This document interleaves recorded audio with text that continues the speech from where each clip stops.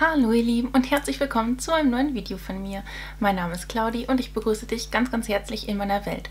Heute ist Samstag, also ist wieder Zeit für ein Samstagsammlungsvideo und heute zeige ich euch meine komplette Parfümsammlung. Also wenn du Bock drauf hast, dich mit mir hier zusammen ein bisschen durchzuschnuppern, dann hol dir was zu essen, hol dir was zu trinken, lehn dich zurück, genieß die Show und viel Spaß mit dem Video. Ich habe mir eine kleine Sache zum Verlosen überlegt und zwar habe ich jetzt leider nicht irgendwie ein Parfüm oder sowas da, aber ich habe so ein Set von Boss und zwar sind das zwei verschiedene Body Lotions. Einmal ist das das ganz normale äh, Boss The Scent for Her und einmal das Boss Mavi und das sind zwei Body Lotions und ja, die sind in diesem Set drin. Alles, was du tun musst, um an der Verlosung teilzunehmen, steht unten in der Infobox drin. Schau da gerne einfach mal vorbei. Und ich würde sagen, wir starten einfach mal. Ich habe mich hier so ein Pöttchen hingestellt mit Kaffeebrett.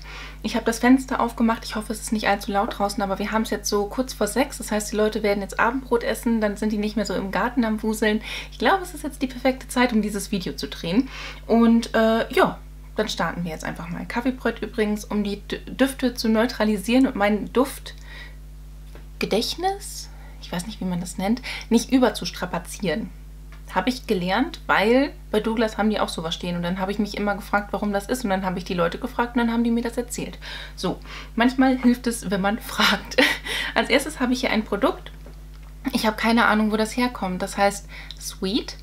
Also von welcher Marke weiß ich nicht. Ne? Das ist, äh, weiß ich nicht.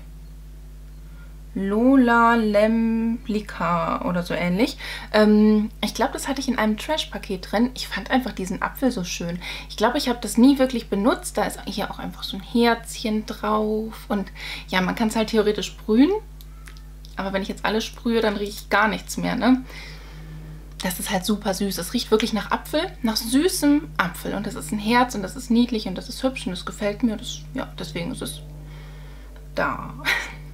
ist eigentlich der perfekte Sommerduft.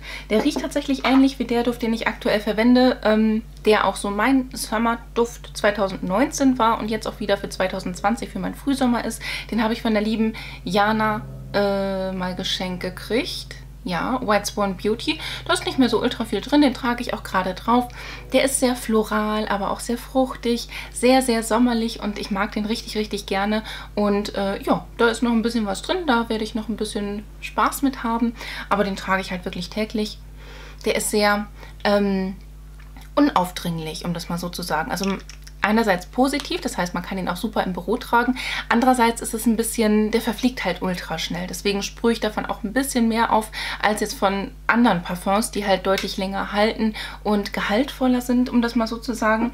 Wenn ich zum Beispiel das Narciso Rodriguez For Her nehme, das ist dieses hier, das habe ich von einer Freundin einer ehemaligen Schulkollegin geschenkt bekommen.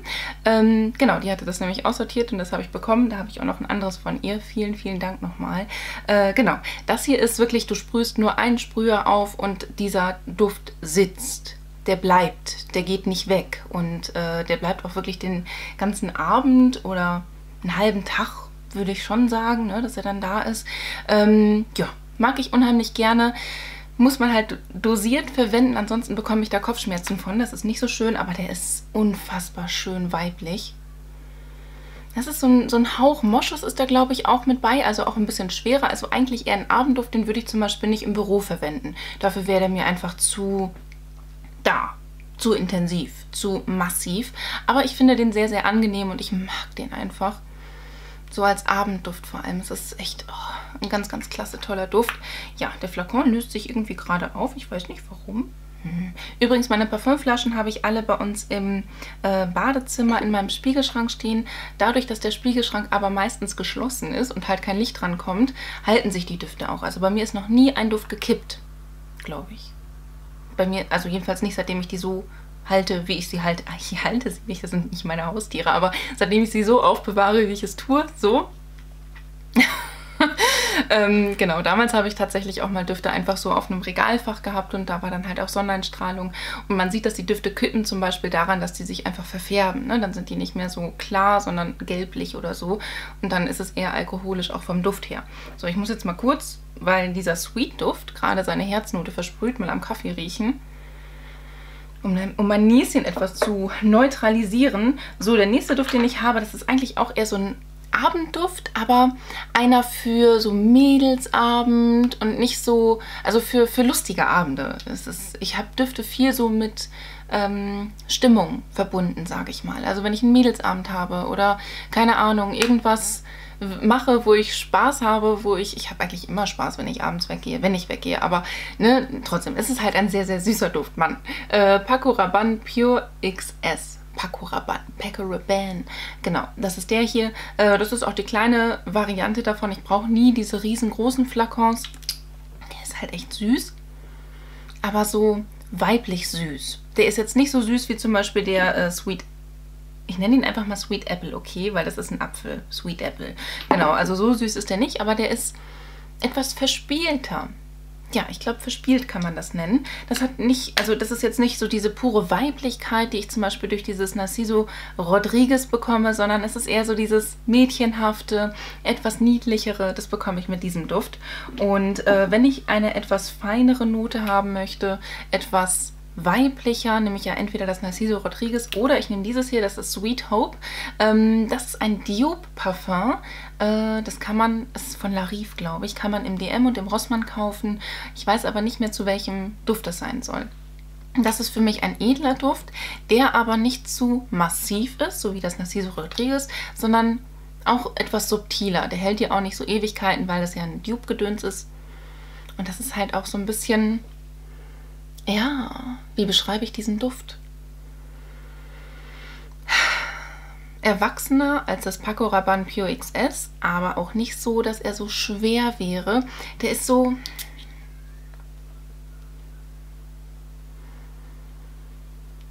mit einer leicht blumigen Note einfach mit dabei. Der ist auch ein bisschen süßlich, auch ein bisschen femininer, aber nicht schwer feminin. Das ist echt schwer zu beschreiben aber er riecht wirklich gut.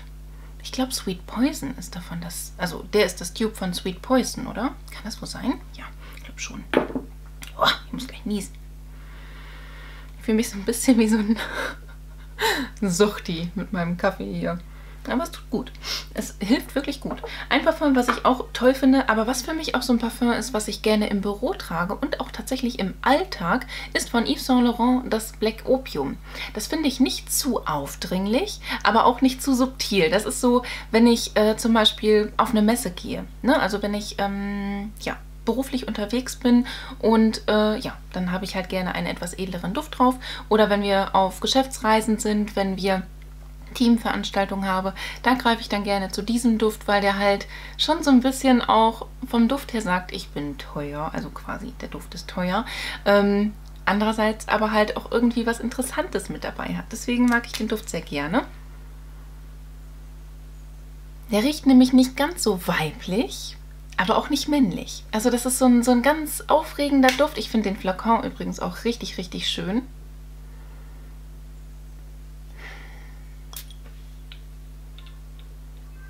Der hat auch was leicht säuerliches mit dabei, was leicht fruchtiges, also etwas sehr, sehr interessantes, finde ich. Und deswegen, ja, wie der Name schon sagt, Black Opium, so ein kleines Suchtgefahr bekommt man bei diesem Duft. Ähm, ja, ich mag den richtig gerne und wie gesagt, trage den auf den genannten Events gerne. Ein Duft, den ich sehr, sehr gerne trage und den ich auch schon öfters mal leer gemacht habe, ist von Lancôme das La Vie est Belle. Das ist ein klasse Duft, den habe ich auch tatsächlich in diesem äh, Geschenkpaket bekommen und äh, das ist auch so für mich ein Duft, wenn den jemand drauf hat, man weiß direkt, welcher Duft das ist. Das ist so der Weiblichkeitsduft. Den trage ich zu allen möglichen Anlässen. Also egal, ob ich zur Arbeit gehe, ob ich ähm, abends rausgehe, wenn ich abends rausgehe, äh, ob ich mit meinem Freund essen gehe, ob ich mit meinen Eltern essen gehe, separat voneinander, weil getrennt. aber, ne, ich glaube, der hat sich tatsächlich auch ein bisschen verfärbt, aber ist nicht schlimm. Der riecht trotzdem immer noch richtig toll. Wie lässt sich La Vie Belle beschreiben? Das Leben ist schön. Das Leben ist blumig. Das Leben ist erwachsen, leicht säuerlich. so riecht das für mich. Und das ist auch ein sehr haltbarer Duft, was, was ich wirklich gerne mag und ähm, den ich auch einfach wärmstens empfehlen kann. Und äh, ja, ein toller Duft. Ja, ein leckerer Duft. Nom, nom. Genau. Ähm, etwas, was ich mit einer Geschichte verbinde, was ich glaube ich auch in meinem letzten Parfüm-Sammlungsvideo äh, erzählt habe, ist dieser Duft. Goldea von, ich vergesse immer wieder, Bulgari. Bulgari? Bulgari? Heißt es so? Dann mit diesem V als U. Auf jeden Fall ist es ein Duft, The Roman Night, genau. Das habe ich mir damals gekauft, ähm, als ich eine schwierige Phase hatte und ähm, meinen Job verloren habe. Ich glaube, vor vier Jahren war das ziemlich, oder vor drei Jahren? Ja, vor drei Jahren war das. Und äh, ja, da ging es mir dann halt auch wirklich schlecht. Und dann habe ich ein bisschen Geld zur Seite gelegt und gesagt, komm, scheiß drauf.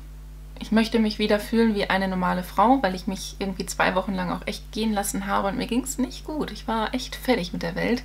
Ähm, genau, und dann bin ich zu Douglas gegangen und habe mir dieses Parfüm geholt. Und ich glaube, das hat auch irgendwie 50 Euro gekostet oder so. Und ich wollte einfach wieder normal werden. Ich habe mich endlich wieder geduscht, ich habe mich wieder geschminkt, ich habe was aus mir gemacht, ich habe, ne, bin wieder klargekommen und habe mir dann diesen Duft geholt. Es hört sich bekloppt an, aber es ist so und habe mich dann auch wieder so ein bisschen wertvoller gefühlt.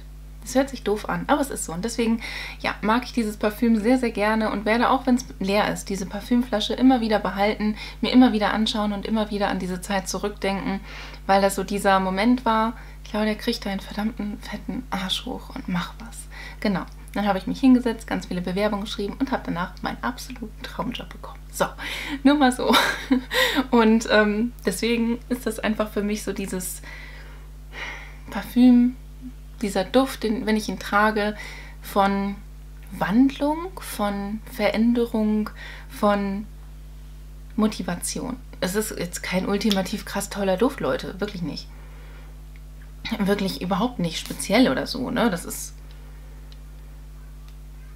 auch irgendwie überhaupt nicht mehr mein Duft, wenn ich das jetzt so mal rieche. Den habe ich schon länger nicht mehr getragen, weil ich nicht mehr so viel Verwandlung in meinem Leben habe.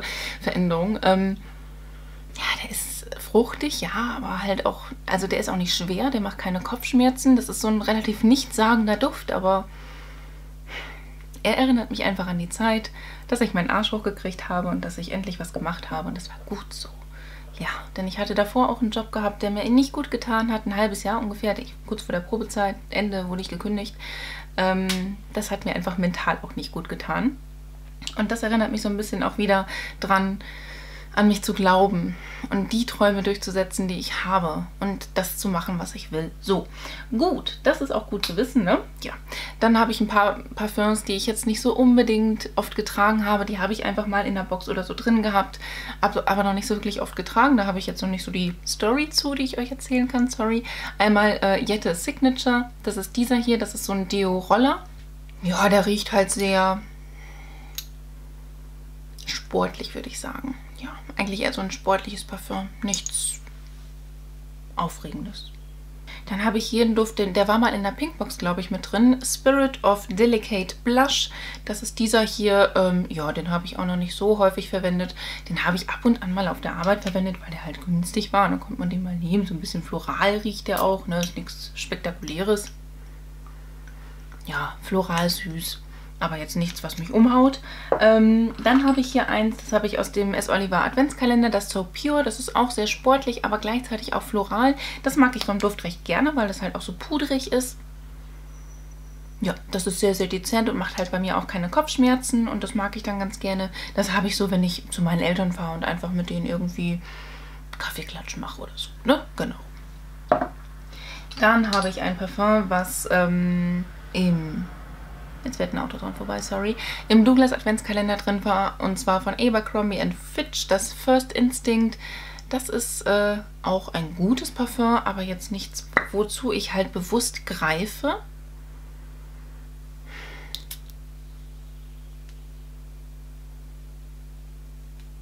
Das riecht so fruchtig floral auch wiederum. Das sind halt so hauptsächlich auch die Düfte, die ich gerne mag.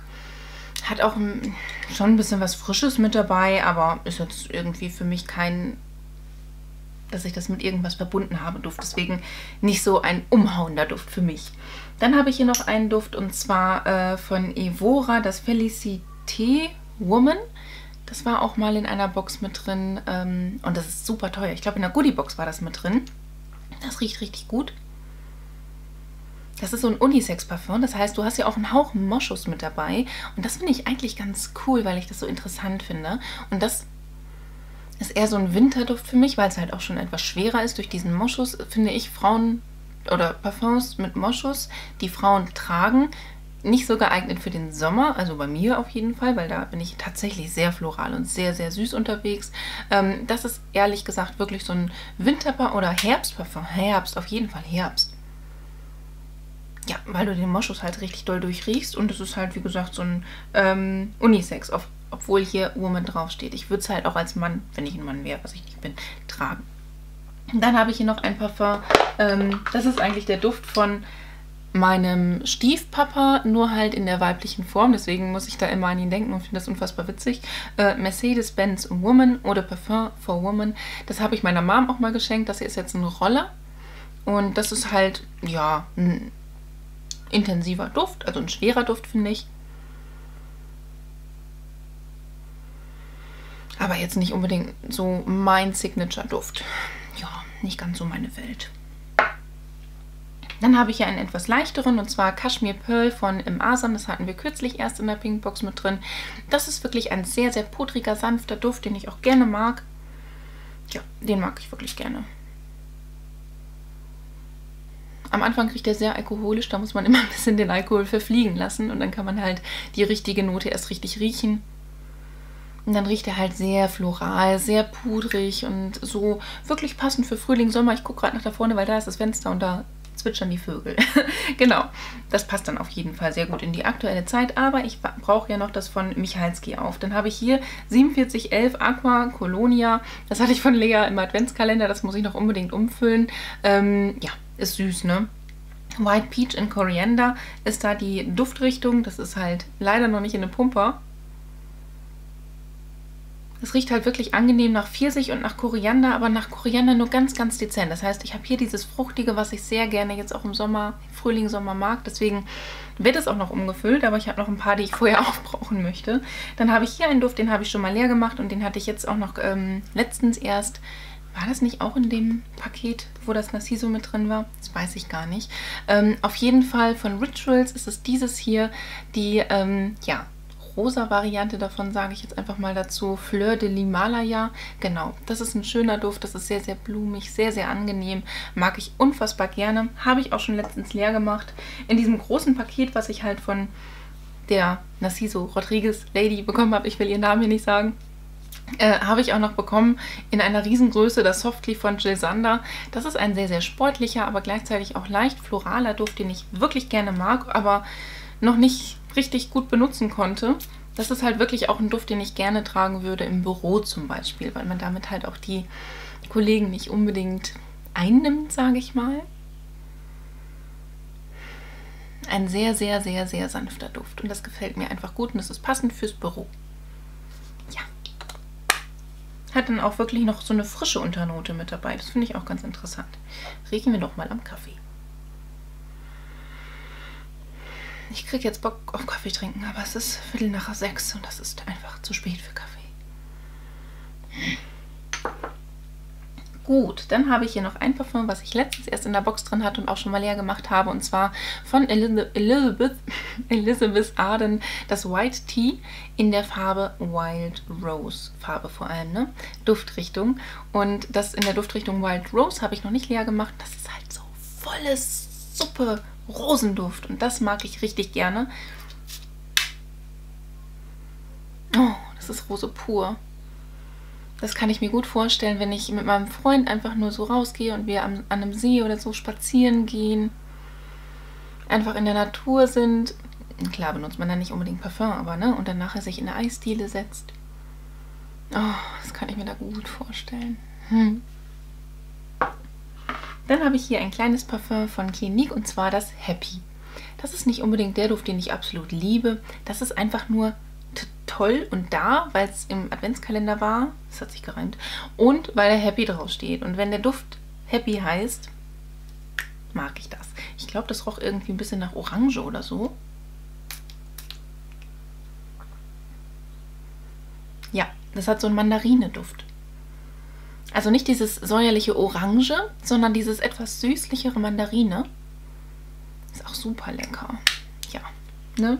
Dann habe ich hier von S. Oliver Your Moment. Das ist dieses Parfum. Ich glaube auch, das hatte ich mal in einer Box mit drin. Das ist halt auch vom Namen her, ne? Dein Moment. Ja. Hat aber was leicht Herbes auch mit dabei. Das mit Alkohol etwas verfliegen. Oh, puh, das ist aber zu tief eingeatmet gewesen, Claudia. Ganz ehrlich. Geiler Move hier. Sorry. Ja, das riecht einfach sehr, sehr sportlich und sehr langweilig tatsächlich. Aber für haben und wenn man mal Parfum braucht, um einfach irgendwie ein bisschen Duft zu haben, ist es ganz gut. Dann habe ich etwas, das war auch in der Box mit drin, von Michalski Berlin. Ähm, das ist dieses hier, das äh, Summer habe ich ja von ihm. Und das hier ist die Duftrichtung, weiß ich nicht, einfach nur Michalski Berlin, weiß ich nicht, glaube schon. Ich finde den Flakon so schön, oder? Ich mag dieses Design. Ich glaube, das roch jetzt auch nicht so ultra krass. Ja, ist halt auch so ein ganz normaler Duft. Also ein bisschen floral ist der, ein bisschen herber, ein bisschen weiblicher und auch ein bisschen schwerer. Aber ja, jetzt nicht so etwas, wo ich sagen würde, den riechst du unter 1000 Düften unbedingt raus. Das ist einfach ein 0815 Duft. Ja, aber er ist da und man kann ihn halt verwenden. Ne? Dann habe ich ähm, noch zwei Produkte von Juniper's Lane. Das sind diese zwei, die waren beide in Boxen mit drin und sind bei mir. Einmal die Duftrichtung Moonflower. Ich mag diese Flakonart übrigens richtig gerne. Dieses Eckige, das ist einfach auch gut zum, äh, für, ähm, zur Aufbewahrung, sage ich mal, weil ich bin ja ein sehr ordentlicher Mensch und ich mag klare Linien und Strukturen. Ähm, genau, das ist dann halt eher der etwas blumigere Duft und das andere ist eher der etwas sportlichere Duft. Wie stehst du eigentlich zu Parfums in Beautyboxen? Schreib mir das gerne mal unten in die Kommentare. Ich finde es immer unheimlich schwer, das richtige Parfum reinzumachen, weil ich finde, dass jede Nase anders ist. Und da das perfekte Parfum reinzupacken, was der Masse gefällt, ist super schwer. Also immer Hut ab, wenn die es machen, dass sie da ein Parfum reinpacken. Manchmal gefällt es mir tatsächlich auch sehr gut. Ja, ein sehr dezenter Duft. Blumig. Einfach nur blumig. Das beschreibt es ganz gut. Ich kann nicht mal sagen, nach welcher Blume das riecht. Nach einer Blume halt. Ja, und das hier halt, wie gesagt, etwas sportlicher. Ich glaube, als ich den das erste Mal getestet habe, habe ich auch gesagt, oh, das riecht sogar ein bisschen nach Wald. Das ist das äh, Wonder Leaf. Ja, ich, nee, das riecht einfach nur sportlich, finde ich. Also jetzt nicht irgendwie ganz aufregend. Und auch wieder sehr, sehr dezent vom Duft her. Das sind halt eher so Body Sprays, würde ich persönlich so benutzen. So, und das letzte, was ich hier drin habe, ist eins, was ich jetzt Justman gerade geschenkt gekriegt habe zum Geburtstag. Vielen, vielen Dank an Dr. Pierre Ricot. Und zwar ist das dieses Parfum Rosa Folia Nummer 2, ein Eau de Parfum. Und zwar, ähm, ja, ist das dieses hier. genau, und das soll halt nach Rose riechen. Das machen wir jetzt heute zum ersten Mal zusammen auf. Verpackung ist schon mal schön. Das gefällt mir. Dieses Weiße und dann hast du da diese ähm, eingestanzten Folien. Aber gut, diese Pappverpackung bewahrt man ja nicht auf. Was zählt, ist der Flakon. Und der sieht schön aus. Das ist halt auch wieder so ein leicht eckiges Design. Das gefällt mir. Das ist hübsch. Das Produkt an sich ist rosa. Hier vorne drauf ein schlichtes Design. Das finde ich klasse. Und der wird nach Rose duften. Den werde ich jetzt austesten.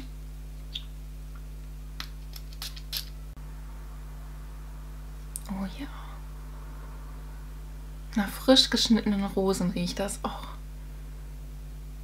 Auch wieder eher ein etwas leichterer Duft. Ich kann mir nicht vorstellen, dass der lange hält. Ich glaube, das ist auch eher so ein dezenter, leichter Duft von Rose, den du dann über deinen Körper geben kannst oder halt an die entsprechenden Stellen in deinem Körper. Aber sehr, sehr angenehm. Überhaupt gar nicht Kopfschmerzen verursachend. Mmh, riecht gut. Ja, ihr Lieben, das war jetzt meine Parfumsammlung. Puh, ich muss sie gleich erstmal durchlüften. Und äh, wow, genau. Ne? Ich hoffe, es hat euch gefallen und wenn dem so ist, dann lasst mir doch sehr, sehr gerne einen Daumen nach oben da. Würde ich mich mega drüber freuen. Ansonsten wünsche ich dir einen wunderschönen Tag, einen wunderschönen Abend. Lass es dir ganz einfach gut gehen. Fühl dich ganz doll gedrückt von mir. Ich verlinke dir mal hier oben meine Playlist mit der ganzen Sammlungsgeschichte. Hier unten meinen neuesten Upload. Auf dieser Seite noch ein Video von mir. Und hier oben kannst du, wenn du möchtest und es vielleicht noch nicht getan hast, mich sehr, sehr gerne einmal kostenlos abonnieren. Ich würde mich echt von Herzen drüber freuen. Lass es dir gut gehen und hoffentlich bis zum nächsten Mal. Tchau!